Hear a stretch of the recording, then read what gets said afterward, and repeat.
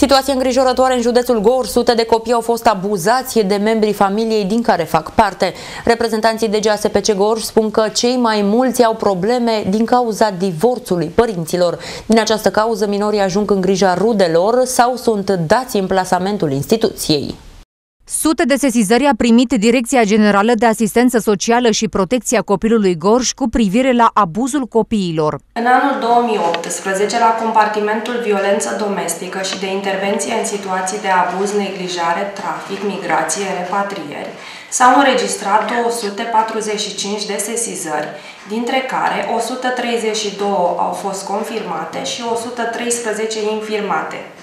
Cele 132 sesizări confirmate privesc un număr de 188 copii care s-au aflat în diferite situații de abuz, neglijare sau exploatare. Pentru 13 minori aflați în această situație s-a instituit măsură specială de protecție, respectiv plasament în regim de urgență.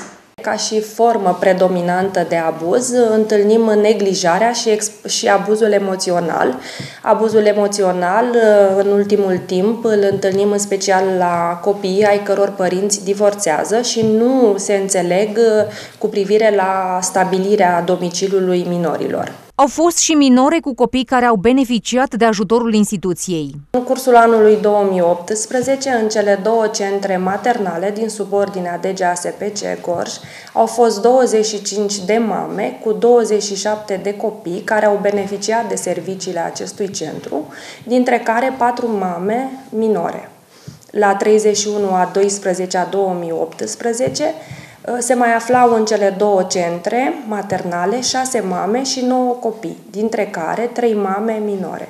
O parte din cazurile cu privire la abuzul copiilor au fost soluționate, iar restul se află sub monitorizarea instituțiilor autorizate pe o perioadă de șase luni.